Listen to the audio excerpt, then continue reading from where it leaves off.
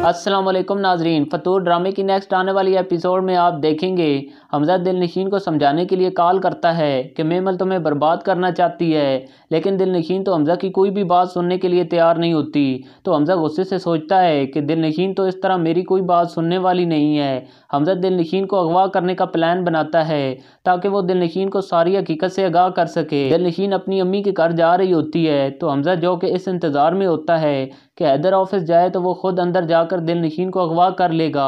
जैसे ही हैदर ऑफ़िस के लिए जाता है तो हमजा दिल नशीन को अगवा कर लेता है और दिल नशीन को एक घर में लाकर कुर्सी के साथ बाँध देता है और दिल नशीन से कहता है कि अगर तुम उस वक्त मेरी बात आराम से सुन लेती तो मुझे ये कदम नहीं उठाना पड़ता, जिस पर दिल नशीन हमजा के आगे हाथ जोड़ती है कि प्लीज़ मुझे जाने दो। अगर कहीं हैदर को शक हो गया कि मैं घर में नहीं हूँ तो मेरा घर बर्बाद हो जाएगा। हमजा दिल नशीन से कहता है कि मैं तुम्हें ये बात बताने के लिए यहाँ पर लाया हूँ कि मेमल तुम्हारी ज़िंदगी बर्बाद करना चाहती है। वो नहीं चाहती कि तुम हँसी खुशी से हैदर के साथ रहो। जिस पर दिल नशीन कहती है कि तुम्हारी वजह से मेरी ज़िंदगी पहले अजाब बनी हुई है, तुम्हारी वजह से हैदर ने मुझे इग्नोर करना शुरू कर दिया है। वो मुझसे कहते तो कुछ नहीं है, लेकिन अंदर ही अंदर से उनको ये कम खाया जा रहा है।